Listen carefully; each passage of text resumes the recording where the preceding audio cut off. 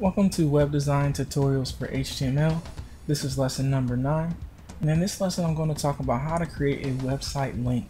And I'm also going to talk about HTML attributes because without an HTML attribute it will not be possible to create a website link using HTML. So let's go ahead and get started. The first thing that you want to do is open up the previous document from the previous tutorial. And once you have that open, let's go ahead and click towards the end of this document or in other words right before the closing body tag. And let's go ahead and start writing our tag for a website link. So you start off by writing an angle bracket and then the letter A. And the letter A stands for anchor and that's the type of tag that we would use to create a website link. But then we're going to go ahead and hit the spacebar key. And the reason that we're doing that is because we have to write an HTML attribute. And an HTML attribute is made up of name value pairs. And I'm going to write it on the screen to show you the syntax or the basic structure of name value pairs for HTML attributes. And it's written name equals and then the value in quotes. I'm going to say that again. Name equals and then the value in quotes. And in this case, our name is going to be href, which stands for hyperlink reference. And then we're going to write the equal sign and then in quotes we're going to write our link. In this case we would write http colon forward slash forward slash and then we would write the domain name or whatever part of your domain you're linking to.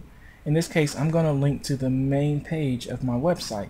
So I'm going to write www.xaratemplate.com and then quote because remember we put the value in quotes.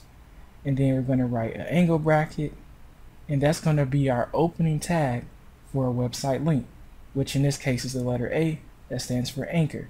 So we just wrote our first HTML attribute. In this case it's for a link. And I just want to make one other note. There's all types of HTML attributes. This is just one example. But always remember that it comes in name value pairs and the value is always in quotes for HTML attributes. So in the center part of this, we're going to write the text that we want to appear for this website link. So I'm going to write Xara template website. And then I'm going to write angle bracket forward slash and then the letter A. So we would close a anchor tag for website links the same way that we close it for other website tags for HTML. So you just wrote your first website link. So let's go ahead and hit Control S and save the document and go view it in our web browser.